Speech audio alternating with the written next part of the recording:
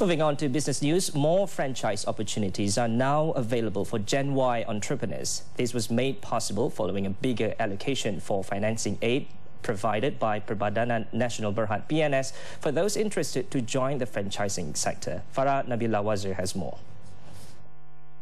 PNS has allocated financing aid of up to 70 million ringgit for the franchise industry in Malaysia this year, compared to only 50 million previously. The financial aid given by PNS covers 70% of the total project cost. Wherever kita bagi pinjaman kat orang, kita harapkan they make 10 times more than they borrow from us. The minimum is 5,000, the maximum is 2 million. But if it's 2 million is not enough, come and see me.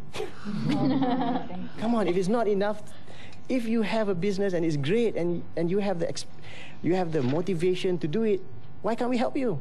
Dato was met during the International Franchise Summit 2015, which brings together local and international franchise founders under one platform to share and chart the future of the industry. The summit is also a step forward by PNS to strengthen its position as the lead agency in developing the franchise industry in Malaysia.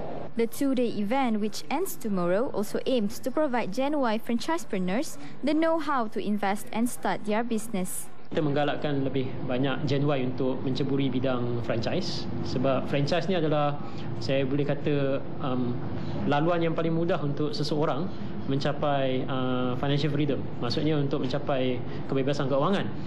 Sebab daripada segi industri franchise lah kita belajar dua benda yang sangat penting iaitu kepimpinan dan juga sistem. The event attended by some 400 participants from 8 countries includes six workshop where local and international academicians present their business research papers as well as a forum by international speakers. Farah Nabila Wazir for 7 edition.